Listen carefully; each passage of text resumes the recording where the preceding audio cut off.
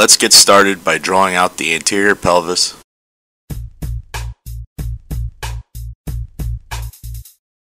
And finally the posterior pelvis.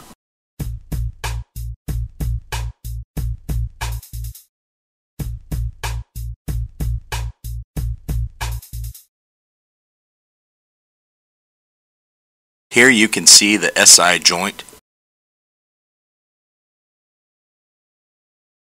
joint, the lumbar spine,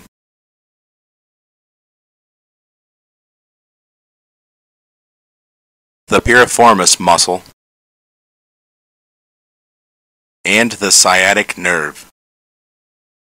These anatomical areas are close to each other, and pathology in one area may overlap with the others. This makes the diagnosis of some pathology difficult and confusing. All my videos and this video is for educational purposes only. Please consult your doctor before you make any decision about your medical care.